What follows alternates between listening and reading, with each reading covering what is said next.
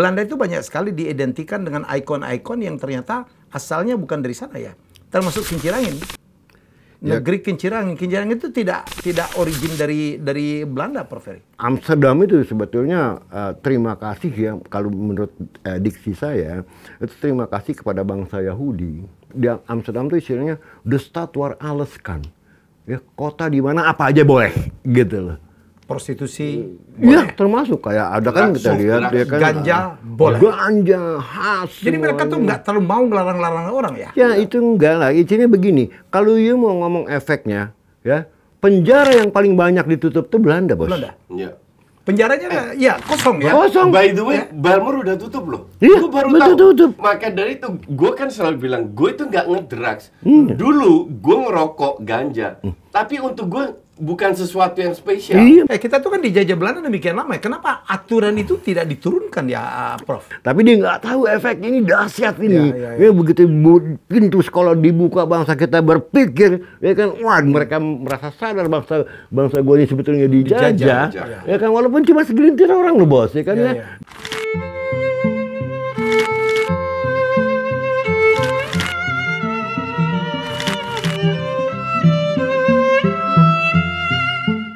Ya masih bersama saya dengan dua apa teman-teman penjahat saya, Prof. Ferry Latulihin kita bercerita masa lalu. Jadi kita nggak bakal ngomong ekonomi, keuangan, ah udah udah lain. Nanti kita punya acara sini dan juga Coach Justin yang kali ini juga tidak akan ngomong bola, ya.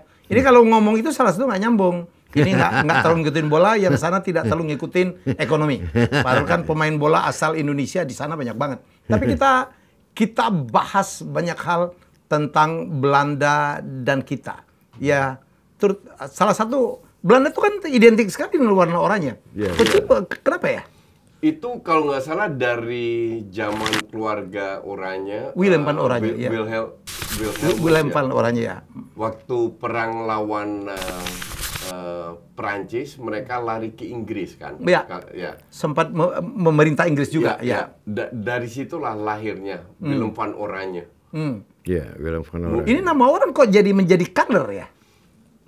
Eh, nah itu gue kurang tahu itu. Itu Iya. in- in- intinya adalah setelah itu tahun berapa 1500 atau berapa itu or- oranye itu identik dengan Belanda. Dengan Belanda. Maka dari itu semua ya se- semua Termasuk timnas ya. termasuk sepak Ya, bola. sepak bola. Pokoknya kalau bicara oranye ya orang harus langsung dan oh itu Belanda. Ya kalau di sini PKS sekarang orangnya ya. Warna partai.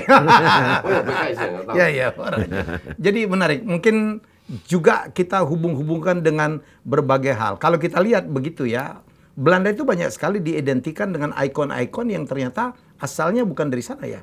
Termasuk Kincirangin. Ya. Negeri Kincirangin. Kincirangin itu tidak tidak origin dari dari Belanda, Prof. Ferry. Ya gini, Belanda itu sebetulnya dari abad ke-12, abad ke-13 itu negara yang paling bebas menerima pelarian. Yang paling terkenal kan peralihan bangsa-bangsa Yahudi Ya. yang dikejar-kejar oleh gereja Katolik pada waktu itu, ya kan larinya kan menja- mereka membuat ghetto di Amsterdam, ya kan? Sehingga lahirlah oh, filsuf besar Spe- Spinoza, ya kan? Itu kan, Spinoza. iya kan baru Spinoza dan itu memang Amsterdam sampai sekarang pun menjadi tempat anak segala bangsa Iya. Melting pot. melting pot dari saya Di- eh, kalau pakai bahasanya eh, Pramudia Anantatur. Anantatur Kin van alle volken anak segala bangsa Anak segala bangsa. Ah, ah, semua ada di sana nah kenapa jadi begitu karena memang sejarahnya tadi adalah sejarah memang sejarah pelarian bangsa-bangsa lain yang dikejar-kejar Hmm. nah artinya apa secara relatif pada waktu itu di abad pertengahan Belanda itu ya tidak sekejam negara-negara yang ada di selatan yang pengaruh Katoliknya begitu besar ya kayak Italia Prancis, Spanyol Prancis ya, Spanyol. ya kan terutama ya. Ya itu yang paling makanya uh, Amsterdam itu sebetulnya uh, terima kasih ya kalau menurut uh, diksi saya itu terima kasih kepada bangsa Yahudi, ya kan? Nah, kenapa? Sampai sekarang pun masih kita kita masih masih bisa lihat uh, hasilnya ya Berlian paling top itu De Beers. Antwer- ah, De Beers, Antwerpen sama Amsterdam bos. Yes, Antwerpen Nah. sama ya. Yahudi, you know, zaman dulu itu kan mereka kaya raya karena sekarang, kan sampai ya. sekarang gitu kan. Gosok berliannya tuh nggak nggak ada yang ngalahin. Berlian kan ya, ya cakepnya berlian kan karena Dari slepraynya, gosoknya. Dari dari gosok, dari gosokannya, cut, dari ya. cutnya, Dari cutting, berarti, dari ya, ya. cuttingnya gitu kan ya. Nah di situlah makanya sampai sekarang pun Amsterdam itu nggak mengenal suku. Nggak ada itu yang namanya, mau, mau negro, mau Suriname, mau mau Mau Indonesia, mau ya. Indonesia, mau Rusia, mau oh, a- a- apa Yugoslavia, mau Sp- eh, Spanyol, mau Portugis, semua tuh kalau di Amsterdam merasa satu bangsa.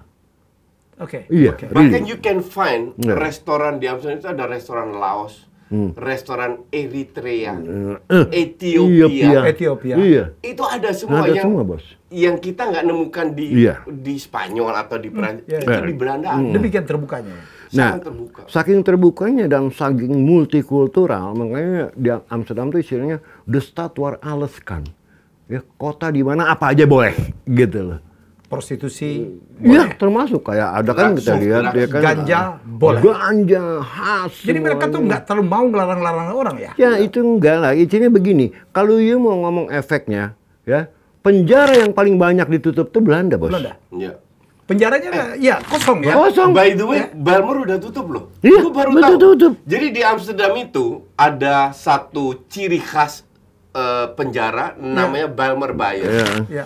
Pokoknya itu udah ikonik lah. Oke. Kalau kita dari kalau gue kan tinggal di Amstelveen, ki- Iya. kita ke pusat Amsterdam le- lewati naik naik kereta, itu ternyata udah udah jadi Penjaranya. rumahan. Udah perumahan. Udah Kosong bos. bubar, udah dibubar. Udah ada tidak ada penjahat, tidak ada Iya. kejahatan ya. Nggak ada kejahatan. Saking sedikitnya penjahat sampai mereka bekerja sama dengan negara Skandinavia, Iya. Su- Swedia kalau nggak salah, Heeh. atau Norway, untuk penjahatnya di sana ditaruh di Belanda, di penjaranya Belanda. Daripada ngeluarin Sampai duit. segitunya. Daripada nganggur. Karena Iya. kosong. Ya. Wow. Ya, jadi gini, ada semacam paradoks ya, ada semacam uh, uh, uh, uh, apa sih kontradiksi mungkin ya. Hmm. Dibebaskan, Justru justru justru malah aman. ya, ya dong, kalau gitu. bebas kan tidak ada aturan yang dilanggar dong. Enggak, kan? Orang enggak. bebas. Enggak, bukan bukan begitu. Kalau soal pelanggaran kan bisa berupa kriminal. Ya. Ya kan, itu kan banyak ya kan. Ya. Kalau kriminal paling gampang lah ya kan ya. Nusuk orang, mencuri dan segala Ya, macam. Di Belanda hampir nggak ada kasus-kasus itu. Walaupun kita lihat orang yang selengean setengah mati kan kita merasa aman-aman aja gitu loh ya. Nah, mereka nggak melakukan hal-hal yang merugikan orang lain gitu loh. Oke. Makanya kan penjara tuh sepi ya kan ya. Nah, juga soal kebebasan dulu ya zamannya Justin, zamannya saya dulu di Amsterdam itu ada toko yang namanya Sensisma. Apa tuh? Nah, toko kayak toko rokok, tapi di situ kita bisa beli khas, bisa beli ganja dengan bebas, kayak kita beli rokok aja, Ya. gitu loh kan. Nah, tapi ya saking bebasnya ya ini kita juga jadi nggak Nggak- terlalu tertarik. Iya, orang nggak tertarik. Nggak tertarik. M- Maka dari itu, gue kan selalu bilang, gue itu nggak ngedrugs. Hmm. Dulu gue ngerokok ganja, tapi untuk gue bukan sesuatu yang spesial. Iya, bukan sesuatu yang Karena bisa boleh. dibanggakan. Karena boleh, Eh, ya. Karena di- gitu loh. Ka- karena ya? boleh. Iya. Nah, ini ini yang yang very maksud paradoksal. Karena kebebasan ini lama-lama secara tidak orang tahu, Tahu etikanya itu di mana, koridor di mana mereka Iya, bergerak iya. sehingga Iya. nggak perlu untuk melanggar Iya. hanya karena kita diberi kebebasan bukan berarti kita harus melakukan Suka tindakan kriminal. enggak. Malah kita Itu. tahu batas-batasnya sendiri Iya. gitu loh. Ya, jadi itulah makanya kembali lagi kalau kita ngomong masalah bahasa kebebasan tadi gitu kan ya Belanda sudah membuktikan itu gini bos, setiap summer mungkin kalau dibandingkan dengan seluruh Eropa ya, itu setiap summer Amsterdam itu dari segala penjuru angin, Penuh, even ya, dari ya. Penuh. dari Inggris itu Iya. nyebrang ke Belanda cuma untuk hasis, Hmm. ya kan? Yang di negara yang tidak boleh. Yang di negaranya belum nggak boleh. Iya, iya. Eh, Di Belanda mereka sasi segala macam segala macam. nggak ada nggak ada masalah gitu loh. Mereka juga ya udah paling begitu mereka utun-utun gitu tidur paling. Iya kan? Jadi nggak ada masalah. nggak membuat yang aneh-aneh. Nah makanya kalau ngomong hukum paling soft itu di Belanda. Iya, too soft. Tahu soft, tapi lihat penjaranya justru paling sepi. Iya. Kan Iya, ini, ini paradoks ya. Paradoks. Bukannya dikencengin hukumnya untuk mengurangin, malah ini sebaliknya. sebaliknya. Kita banding sama Amerika lah. Ya. Amerika bunuh orang lah, sengaja atau nggak sengaja. Hampir tiap hari. Sumur hidup. Hampir tiap hari. Dan tambah Iya, lama tambah tambah lama. banyak. Iya. Penjara udah full, udah sampai berapa orang udah dieksekusi, Hmm. tetap tambah full. Ya. Belanda tuh aneh. Termasuk di Indonesia ya. Penjara-penjara full. Ya. Ya dengan aturan-aturan yang ada sih, tapi yang melanggar banyak banget. Betul ya? Iya, betul. Di Belanda malah sepi. Ma- malah dibebasin. Eh kita tuh kan dijajah Belanda demikian lama ya. Kenapa aturan itu tidak diturunkan ya, Prof? Se- sebenarnya diturunkan, cuman nggak diikutin aja sama kita. Enggak, gini, eh, sebetulnya kita dijajah itu dijajah fisik. Bukan mental. Bukan mental dalam arti gini. Bukan bukan pemikiran. Bukan pemikiran ya. Pemikiran, ya. Jadi kan kita terpisah. Ini kan Belanda ini tidak membaur gitu lah ya dengan bangsa kita sehingga kita tidak mendapatkan nilai-nilai dari mereka juga. Ya, ya, Cara ya, hidup ya, yang ya. benar ya kan, sopan santun yang benar itu kan mereka seolah-olah bangsa yang berdiri sendiri di tengah bangsa kita yang dianggap mereka adalah bangsa kuli gitu kan ya. Bukan kelas mereka, ya bukan habitat mereka. Jadi kan Oh, iya, makanya iya. Dulu orang kan mereka mereka bikin kasta-kasta ya. Iya, mereka Nomor kasta satu sendiri. Eropa, Eropa, nomor dua kedua China, China, Tiongkok, Timur, tiga Timur- baru pribumi. baru pribumi, Finlander. ya, Inlanders, ya kan? Ini jelas sekali pemisahan yang sekat Ya, yang ya. begitu tajam. Jadi nggak dapat dari kasta paling Nggak bawah dapat, ke nggak kasta dapat, tertinggi bos. kalau kita boleh menyebut kasta. ya. Iya, betul. Nggak dapat. Makanya Hmm. kita nggak menurunkan nilai-nilai, pola pikir, ya kan? Hmm. Dari orang Belanda. Karena memang kita tidak pernah bergaul dengan Belanda. Tapi hukum kan kita pakai hukum. Iya, Pakai kalau hukum hukum, kan iya. ICW, pakai apa dulu ya? Iya, kalau hukum juga kan kalau kita lihat juga oh, mungkin kalau hukum positif juga ada pengaruh dari kode Napoleon, kode sivil dan segala Hmm. macam ya sistem hukum di Belanda ya, gitu kan. Nah tapi kembali lagi kalau masalah kultur budaya, eh, Belanda ya sendiri.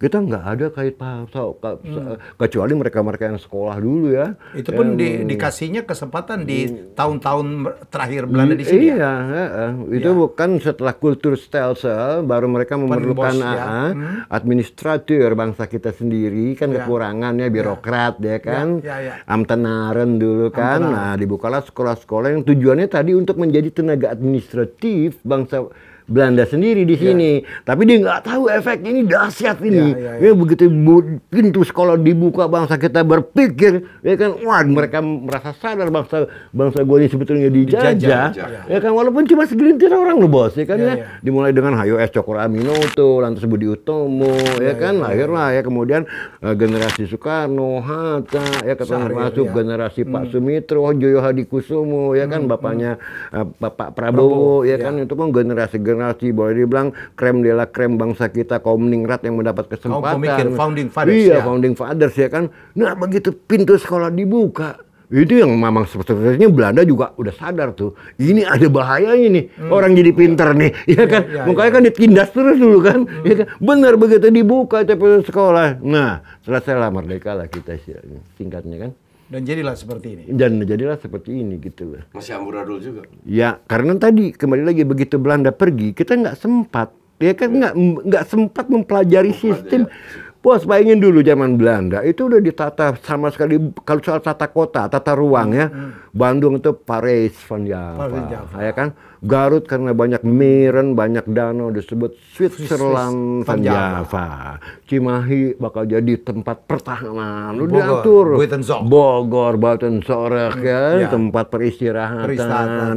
Itu Batavia, semua ya. Batavia tempat perdagangan, ya kan ya Surabaya juga perdagangan, begitu dengan Semarang, ya kan ya. Itu semua udah diatur tata ruangnya. Karena apa? Belanda itu negara yang secuil. ya. Ya kalau dia nggak atur tata ruangnya dengan baik, wah repot. Tenggelam kali ya? Tenggelam Mereka kan tempat tahun di- di Nova sebagai 1953. negara yang jago banget membuat bendungan. Nah. Karena berapa mungkin 90% daratan Belanda itu di bawah permukaan Bawah laut. permukaan laut. ya. Gila ya teknologinya ya. Iya kan itu akhirnya ya mereka pakai eh, dam ya. Eh, Daunen and Dijken. Daunen and Dijken. Dam itu kan lebih di Zeeland. Dulu tahun Iya. 1950 jebol. 53. Lim, ya, li, lim, lim- lima itu jebol. Tenggelam dong. Eh, sa- satu provinsi rumah. tenggelam. Hmm. Satu provinsi tenggelam, Zeeland kan. Zeeland. eh. Habis itu mereka belajar di diperbaiki lah. Hmm. Jadi se- itu ba- bahkan sampai rajanya sekarang Hmm. Koning Ra- Raja Willem Alexander itu belajar soal air. Hmm. Spesialisnya di Hanya air. untuk- Iya. Supaya itu tidak terjadi Kalau lagi. kita tahu Dubai, Ya. Dubai eh, yang ber, harus tahu cara mengelola air agar Iya. mereka punya island-island, pulau-pulau Belajar dari buatan, Belanda? Itu Belanda semua. Ada kebayang ya, ini negaranya hampir sebagian besar itu di bawah permukaan laut, tapi mereka aman-aman aja. Mereka hidup normal, bertani, Iya. ya, bercocok tanam. Bayangkan teknologi yang mereka buat ya, bendungan-bendungan, Dan bukan itu aja. barrier segala Ah, ah. macam ya. Dan teknologi pertanian juga one of Oh the ya, one of best. the best. Eh, itu. Walaupun yang tadi kita bahas eh, kincir angin juga salah satu itu untuk energi, Iya. untuk irigasi, dan orang tidak banyak tahu kalau kincir angin itu bukan khas Belanda.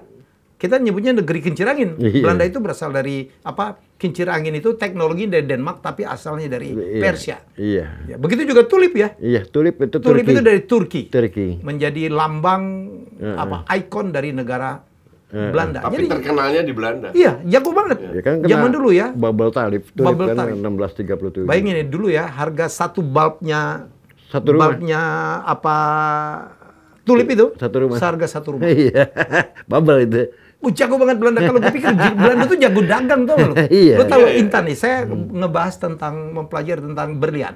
Yang kita tahu pusatnya Antwerp dan De Beers ya. De Beers, ya. Di De Beers. Itu sebenarnya nggak ada alasan berlian itu menjadi batu mulia paling mahal. Hmm. Semuanya itu all about branding, all Iya, about apa iya. ya, storytelling. Iya. Dibikin susah lah, Iya, tergantung dari 4C lah, K, clarity Iya, dan iya, sebagainya. iya, iya. Ada blood diamond lah, Iya. intan pa- apa apa mineral paling Iya. keras lah. Diamond asalnya kan dari Afrika Selatan. Iya. Cuma Iya. di cuttingnya Di cuttingnya. Antwerp Iya. sama Iya, Amsterdam. dan itu menjadi mahal banget. Sebenarnya Iya. nggak ada alasan. Karena banyak batu lainnya juga indah, nggak. Kenapa tidak semahal Iya. berlian? Lagi-lagi cara jualan orang Belanda. Belanda ini jago jualan ternyata, jago, Pak Ferry. jago.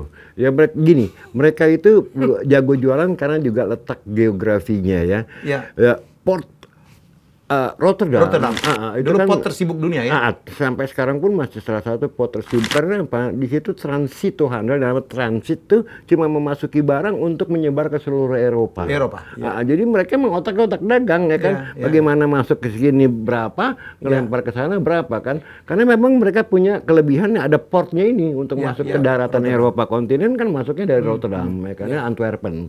Ya kan saingannya ya. Nah, itu dua gitu loh. Makanya otak Belanda adalah otak dagang. Iya. Gitu lah. Ya dulu pun waktu zaman VOC kalau kita tahu kan mereka cuma satu ya. Mereka datang kemari ngambil rempah-rempah. Ya. Dia berani betting dengan laut yang begitu ganas ya, kan. Ya, kan untuk belayar ke sini walaupun udah didahului, didahului oleh orang Portugis, Portugis, dan Spanyol, Spanyol. ya. Spanyol. Ya kan. Tapi yang paling kaya mengeruk kekayaan dari negara jajah adalah Iya, Belanda. Belanda. Iya. Dan dikeruk itu adalah Indonesia. Sehingga ada anggapan bahwa Belanda jangan ngomong sombong ya tanpa mengeruk harta dari Indonesia. Kita akan bahas ya di episode selanjutnya banyak hal ya. Masih banyak yang harus kita ceritakan. 16 menit sudah. Kita jumpa lagi dalam episode selanjutnya dengan cerita-cerita menarik lainnya.